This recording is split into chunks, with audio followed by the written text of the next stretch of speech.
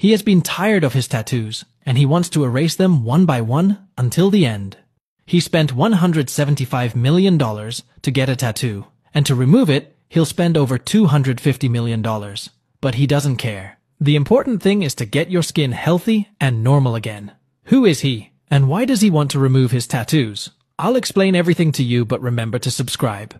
He is Black Alien, whose real name is Gustavo de Almeida Ribeiro, better known by his stage name Black Alien, is a Brazilian rapper and composer, with the goal of becoming an alien.